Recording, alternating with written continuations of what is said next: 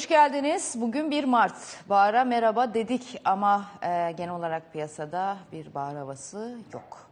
Aile ekonomisinde tabii bugün geçim şartlarını konuşacağız. E, Profesör Sadi Uzunoğlu hocamızla beraber. Hocam merhaba. Merhaba. Şimdi hocam tabii e, bir anket yayınladım ama biraz gecikmeli oldu tabii. Gündem çok yoğun olduğu için e, biliyorsunuz haber akışı o kadar Öyle. yoğun ki artık yani inanın artık hangi gün hangi saatte neyi okuduğumu karıştırıyorum öyle diyeyim size. Şimdi ben anketi düzenledim gelecektir e, yayının sonuna doğru ama soru şuydu. Türkiye'nin geçim şartları gelecek 6 ayda nasıl görünüyor? Böyle bir soru sordum. Ee, şimdi gelir bize e, bunun cevapları bu esnada biz konuşalım. Şimdi bir araştırma var. NG araştırmanın yapmış olduğu işte emekli maaşlarına yapılan artıştan tutun da asgari ücrete yapılan artışa kadar kirada yaşayan bir insanın e, tek geçim kaynağı asgari ücretse kaç kişi e, temel ihtiyaçlarını sağlayabileceğine kadar anket var. Şimdi size bırakacağım sözü. Özellikle şu Ukrayna-Rusya konusunda biz yayınlarda devamlı işte buğday konuşuyoruz, yaş meyve sebze konuşuyoruz. E tabii petrol yükseldi, akaryakıt maliyetleri, bunların e, yansımaları, ham maddenin yansımaları ve doğal olarak cebimize yansımalarını konuşuyoruz ama bir de önümüzdeki 6 ayı konuşmak lazım. Herhalde bu anketten çok olumsuz sonucu çıkacak gibi duruyor ama. E, hocam buyurun. Şimdi e, tabii anket e, sonuçları aslında e, bu NC'nin veya NC'nin yaptığı araştırma e, en azından bi- yani bilinen bir gerçeği ortaya koymuş.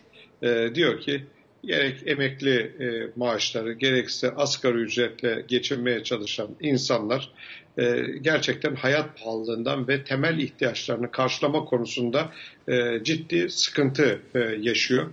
E, yani bir asgari ücretlinin veya emeklinin e, rahat temel ihtiyaçlarını karşılayabilmesi için maaşının yanında ek gelire ihtiyacı var veya bunu bulamıyorsa tabii ki borçlanma e, yapmak e, zorunda. Yani genel e, eğilimi bu şekilde e, saptadık, e, saptanmış e, ankette. Bir de tabii en çok zorlayan şeyler yani aile bütçesinde e, nereye para harcıyorsunuz e, dendiği zaman yüzde 28'i gıdaya e, demiş. Yüzde 23'ü e, kiraya harcıyorum e, demiş. Yani yüzde 28 gıda, yüzde 23 bu tabii ortalama. 1855 kişi katılmış ankete. E, bunların ortalaması 10 mesela. Gelirin yüzde 10'u doğalgaza harcıyorum diyor. Bu gerçekten çok yüksek ısınma için yüzde 10'luk bir e, gider. Elektrik, su e, yüzde 10 e, geliyor. O zaman toplam e, gelirinin yüzde 20'sini bir kere faturalara ödeyen bir e, gelir elde etmeye çalışan insanlar var. Geçinmeye çalışan insanlar var. E yüzde yirmisi eğer faturaları ödemeye, yüzde yirmi üçü de kiraya gidiyorsa zaten yüzde e, kırk üçü barınma ihtiyacını karşılamak içindir. Yani yüzde kırk üçünü barınma ihtiyacını karşılamak için e, ayırıyor. E, dolayısıyla bu e, tabii ki iyi bir tablo e, değil. Yani Evet. güzel bir tablo e, değil. Şimdi- Yani iyi bir e, dönem yaşıyoruz. Yüksek enflasyon nedeniyle. Şimdi burada bakıyorum ev kiralarındaki artış. Bu arada bu e, 11 Şubat 21 Şubat 2022 tarihleri arasında yapılmış bendenimki.com aracıyla 15 yaş üstü. Evet. Türkiye geneli 1855 kişi katılmış bu e, an, şey, araştırmaya. Ev kiralarındaki artış katılımcıların %93'ünü olumsuz etkiliyor. Elektrik, doğalgaz, Evet. su faturalarındaki artış katılımcıların %95'ini olumsuz etkiliyor. Benzin fiyatları %95. Katılımcıların %95'i de gıda ürünündeki artıştan olumsuz etkilendiler. Şimdi öyle bir şey ki e, TÜİK'in de araştırması var. E, verelim aslında o araştırmayı. Ya daha doğrusu gıda üzerindeki etkisini bir artış var ki e, TÜİK'in üçünde biz enflasyonu alacağız. Şimdi İTO'nun Evet. enflasyona falan baktığımızda gıda üzerindeki payın ne kadar yüksek olduğunu görüyoruz. Zaten markete gitmen yetiyor yani hani baktığında çok da e, görüyorsun orada ne olduğunu. Hocam şimdi peki e, bu yapmış olduğum ankete ben hemen yavaş yavaş geldi sonuçları. Zaten ilk başta neyse sonunda da gerçekten o gerçekleşiyor. Şimdi Türkiye'nin Evet. geçim şartları gelecek 6 ayda nasıl görünüyor? Çok olumsuz diyen %59. Olumsuz diyen %25, değişiklik oluşmaz diyen %9, olumlu diyen %7. Yani şu ana kadar tabii e, 4 dakika önce yayınladım ben bunu. yayına girmeden hemen önce 110 kişi oy kullanmış. Herhalde 24 saatte bu 2000-3000'i bulacak öyle görünüyor. Buyurun hocam. Yani hani Evet, görünen köy evet. kılavuz istemiyor. Çok olumsuz %59. Şimdi tabii e, şunu da belirtelim. Yani özellikle bugün mesela geldi işte suyun üstündeki e, KDV'yi %18'den 8'e e, meskenlerde ve tarımsal e, sulamada indirildi. İşte benzinde e, bir takım düzenlemeler yapılmaya çalışılıyor ama çok da fazla yansımıyor bu e, pompaya maalesef. Ama işte gıdada e, biliyorsun marketlerde birçok üründe %8'den %1'e indirildi ama şimdi problem aslında şu Zeliha. Yani burada hani orandan veya miktardan ziyade şunu görmek lazım. Yani gelirlerle mal ve hizmet değerleri arasındaki fark e, uçmaya başladı. Yani aradaki fark sürekli açılıyor. Bu çok ciddi bir e, tehlike. Tabii önümüzdeki dönemde bu kuraklığın devam etmesi, iklim değişiklikleri, işte e, en azından biliyoruz buğdayı biz dışarıdan e, alıyoruz. E, işte e, şimdi amonyum nitrat e, örneğin son birkaç günden beri onun üzerinde bir şeyler okumaya çalışıyoruz. Arkadaşlarımız analizler yapmaya çalışıyor. E şimdi amonyum nitrat ihracatının veya üretiminin yüzde e, 70'i neredeyse Rusya kökenli. Rusya bunun ihracını durdurdu. Bu ne demek? Tarımda gübre demek. Sadece askeri olarak e, bakma öncelikle gübre demek. Bu gübre fiyatlarının e, olumsuz etkilenmesi ve gıdaya yansıması e, demek. Dolayısıyla bütün üst üste koyduğumuzda yani çok da güzel haberler al, almıyoruz, almayacağız e, gibi geliyor. E, ama enflasyon oranları belli bir noktadan sonra yani o baz etkisi dediğimiz etkiden sonra yavaş yavaş aşağıya doğru gelse bile e, bunu şöyle değerlendireceğiz. E, tamam ama enflasyon oranı azaldı diye bizim satın alma gücümüz artmaz. Onu da söyleyeyim. Yani satın alma gücünün artması için fiyatların düşmesi lazım. Yani e, deflasyon olması lazım. Yani Deflasyon- eksi enflasyon açıklanması lazım. Ancak o zaman birbirine yaklaşır diyorsunuz değil mi? Bizim ülkemizde. Bizim ülkemizde olmaz. Niye? Bizde fiyatlar yapışkandır.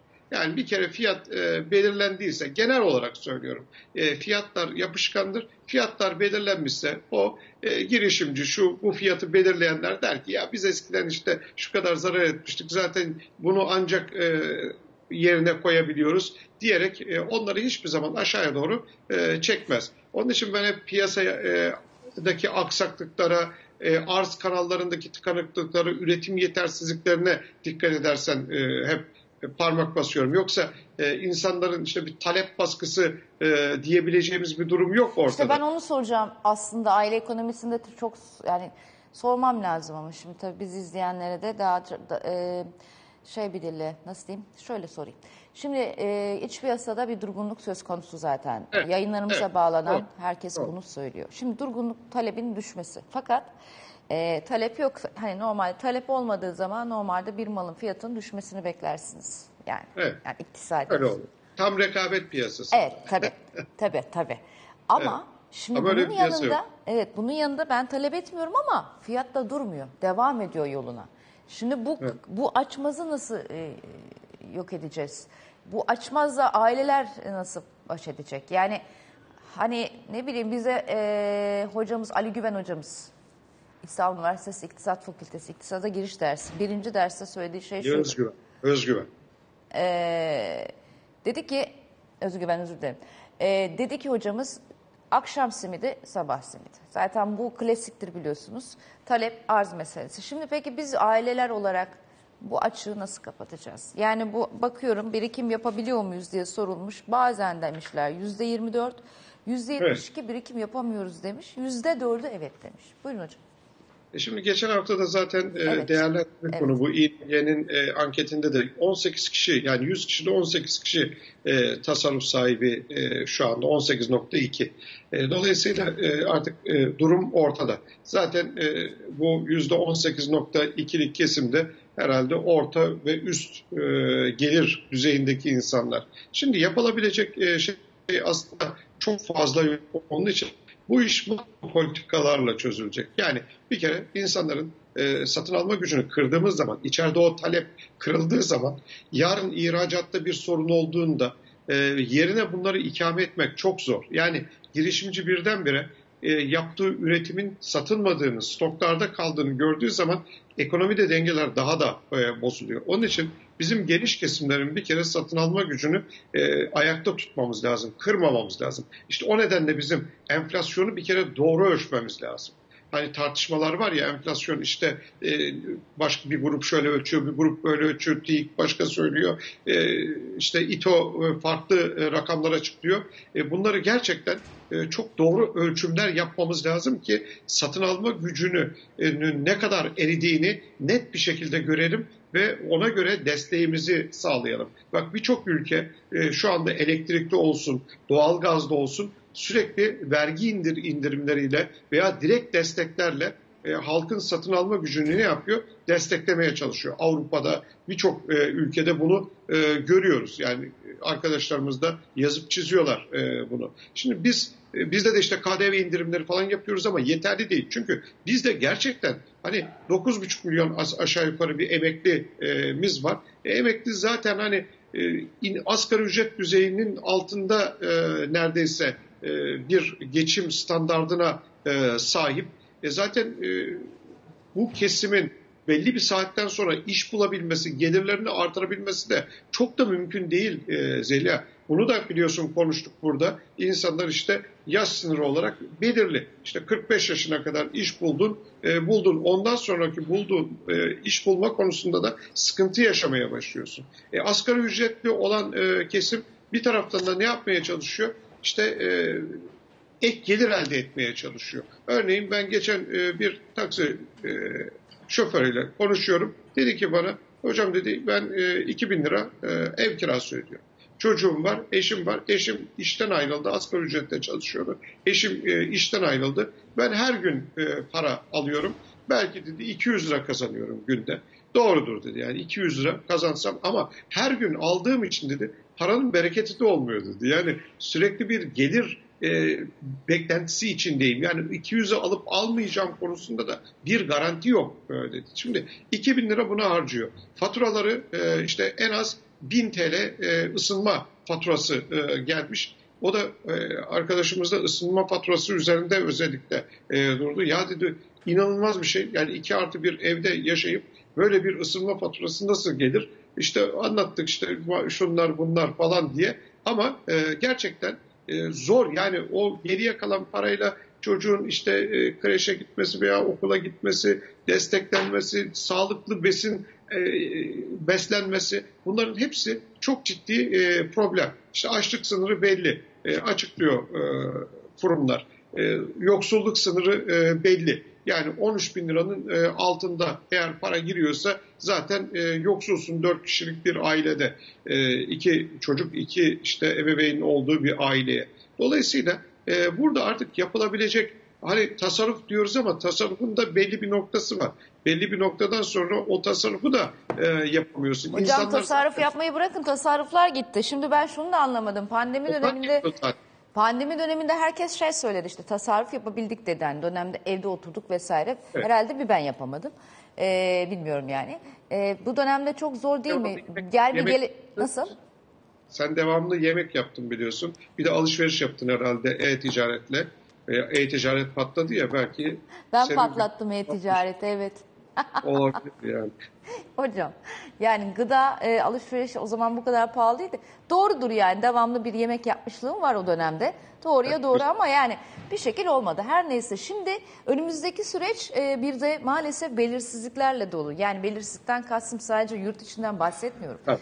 E, yanı başımızda gerçekleşen hadiselerden bahsediyorum. Şimdi e, ne yapacağız? Yani aileler şimdi gıdaya erişim zaten yazmışlar burada. %95'i zorlanıyor. E, evet. Zaten araba hikayesi de var burada. Arabası olan 10 kişiden 8'i son zamlardan sonra araç kullanım sıklığını azaltmış. %18'i evet. değişiklik olmadı, %1'i kullanım sıklığı arttı demiş. Katılımcılara sormuşlar neden diye e, araba almamasının sebebi araba olmayanlar için. %42'si ekonomik durumu kötü, %42'si araba fiyatları yüksek demiş. Yani mevcut evet. durumda akaryakıt zamlarından sonra da kullanım azalım, azalması var. Yani e, Sözün bittiği yerdeyim. Sözü size bırakayım. ama şöyle de bir şey var e, Zeliha. Geçen hafta e, ben de İstanbul'daydım. Hafta sonu İstanbul'u yani cumartesi almayın. Günü. Yok yani bir şey söyleyeceğim. Onu e, eleştirmek için de söylemiyorum. İşte trafik belli noktalarda işte karşı tarafta Kadıköy, Bağdat Caddesi civarında acayip kalabalıktı. İkinci köprü yolu üzerinde de e, yine e, kalabalıktı. Bir yerde kaza da olmuş ama genelde çok kalabalıktı. Şimdi insanlar e, evde gerçekten işte bu uzun hastalık e, dönemi çıkmayalım, gitmeyelim dışarıya. E tamam ama nefes al- alması gerekiyor insanların. Biraz böyle güneşi gördüğü zaman da e, tekrar kış geldi ya Mart hani kapıdan baktırır derler ya gerçekten çok soğuk. E, dün hatta Edirne'ye kar yağdı e, bir ara.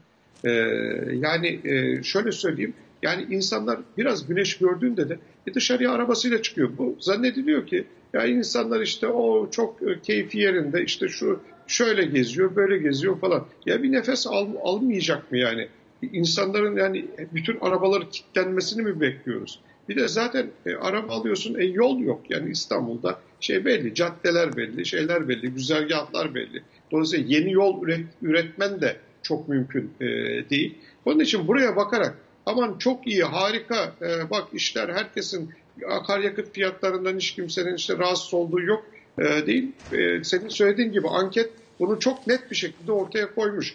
Yani birçok şehirde gerçekten insanlar hani 50 liralık e, esprisi var yani ben hep 50 lira alıyorum. E, 50 lira 100 lira e, alarak e, idare ediyor. Ondan sonra da durmaya çalışıyor. Yani anlatabildim mi? Yani öyle eskisi gibi böyle hani dışarıya e, insanlar rahat rahat e, otomobilleriyle falan çıkamıyorlar. Evet. Dediğin gibi bir takım birikimler de erimeye başladı. Onunla desteklemeye çalışıyor. Tabii. Belli harcamalarını desteklemesi e, gerekiyor. Gerekiyor. Hani yastık altında şu kadar altın var falan diyoruz ama e tamam da yani e, hiç Onu mi da harc- kötü gün için kullan yani tutuyorlar Hayır, insanlar. hiç mi harcanmadı yani bunlar anlatabildim mi? Harcanmıştır. Yani çünkü bir, bir ara altın fiyatları yükseldi diye insanlar altından çıktılar. Ee, ya ihtiyaç oldu çıktılar ya da işte yerine koyamadılar belki sonrasında fiyatlar. Çünkü 800-900 gram altın olmuş. Yani 150 liraya aldığım dönem Başka bir 5-6 şey seneyi geçmez. Ee, şimdi, Onun, onunla ilgili bir şey daha e, bak anlat, söyleyeyim. Yani e, işte Antalya'ya gidiyorsun, otellere bakıyorsun. Otellerin altında, her otelin altında bir kuyumcu var. Şimdi e, bizim Türk halkı gidip de e, oradaki kuyumcudan efendim takım, e, bilezik yok şu bu falan almaz. Biliyorsun yani. Almaz. Gider o kendi kuyumcusundan veya e, yer, yaşadığı yerde alır. Otelde kim gider yani 5 yıldızlı otelde gidip de e, takı alsın. E burada turistler alıyor. Yani biz gelen ithal edilen bütün altının Türkiye'de kaldığını e, düşünüyoruz. Belki kaçak yollarla da çıkıyor olabilir dışarıya. Bu şekilde e, turistin de e, Aa işte şunu alayım bunu alayım diyerek çıkardığı e, altın da e, vardır. Onun için yani bu yapılan tahminleri de ben abartılı görüyorum. Yani işte şu kadar milyar dolarlık efendim e, altın falan yani e, bu rakamları da e, gerçekten analiz ederken herkes bir e, etrafına da bir baksın yani. Herkes etrafına bakıp da eğer çoksa yani halkın genelini yansıtmıyor bu. Onu da söyleyeyim yani. İnsanlar büyük ölçüde e, harcamaya başladı e, bu altınları. Evet. Bu arada bu e, bölge bölge vermiş bir de bu geçim Evet. hikayesini bu e, araştırma. Dediğim gibi 1855 kişi neredeyse 2000 kişi. Aylık gelirin temel ihtiyaçlarını karşılayabiliyor mu? Marmara %65 hayır. Evet. Karadeniz %71 hayır. Ege %70, İç Anadolu %72, Doğu Anadolu, Doğu Anadolu %81, Güneydoğu Anadolu %87, Akdeniz %80 hayır demiş. Yani son zamanlardaki artan pahalılığın e, geçim sıkıntısını bu derece bozduğunu görüyoruz. Aylık gelirin temel ihtiyaçlar, temel ihtiyaçlar. Özellikle Doğu, Güneydoğu Doğu ve Güneydoğu evet. ve e, çok kötü e, bu e, durum aslında. Bu üç bölge e, çok daha e, kötü e, Sıkıntılı. durumda. E, bu tabii biraz da işte gelir e, dağılımının bölgesel anlamda biraz farklı şekilde dağılımından da e, kaynaklanıyor. E, onun da etkisi e, var. Ama benim merak ettiğim e, ankette e, herkes ortalama kirasını 1500 TL demiş. Yani ortalama kira Ee, 1500 herhalde Evet. o tam yani bilemedim evet o yani 1500. ben or- orada birazcık e, şaşırdım. Yani ya 1500 Ama şimdi TL Türkiye geneli olduğu için öyle düşünmek lazım. Yani Gene- İstanbul tamam, gibi düşünmeyelim yani de. Türkiye- Zeliha e, o kiralar e, emin ol yok yani. Tabii E, ki ama bu Türkiye Edirne'den aşağı- Türkiye ortalaması. Yani şimdi mesela e, mesela Güneydoğu Anadolu, Doğu Anadolu, işte ne bileyim Karadeniz o, o bölgeler bilemiyorum yani e, ortalamayı düşünmüş olabilir bilmiyorum. Abi, Hayır ucuz falan değil. Göçlerle özellikle bu mültecilerin gelişi göçler e, bunun getirdiği çok ciddi bir e, fiyat yükselişi var e, oradaki kiralarda da. Yani öyle 300 liraya 500 liraya falan hani ortalaması diyoruz ya. Yani İstanbul'da şimdi Biraz düşük geldi, evet. iki yani, e, altında e, böyle bir anket yapılsa kaç kişi acaba 2000 TL'nin altında artık e, kira e, ödüyor veya işte Edirne'de 1500 TL'nin e, altında kira var mı? Demek ki 1500'ün üzerindeki yani bu e, ortalama kira 500 TL bana biraz e, düşük de e, geldi. geldi. Bu arada E, bir- Hı, bir şey var. Ev sahipliği de var ya bunların içinde. Yani hani belki onunla bir dengelemişlerse e, Olabilir. şeyi o zaman belki aşağıya doğru düşmüş olabilir. Şimdi emeklilik maaşları karşıladı mı diye baktığında hayır çıkmış zaten. Asgari ücret yapılan artış e, iyi miydi demişler. E, %45'i beklediğinden az olduğunu söylemiş. E, şimdi hemen ben anket sonucuna geliyorum çünkü bitiyor yayın. E, ama devam ediyor bu arada anket. Haftaya belki anketin sonucunu söylerim ben. E, 350 kişi kullanmış oy 20 dakikada.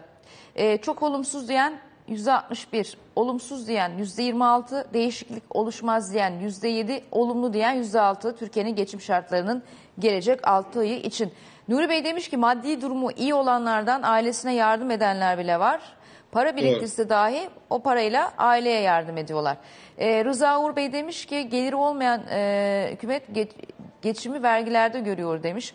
Aracımı iki haftadır zorunlu olmadıkça kullanmıyorum. Oğlum Afyon tıpta okuyor. Başarılar dilerim oğlunuza. Eskiden arabamla gidiyordum şimdi hiç gidemiyorum diyor.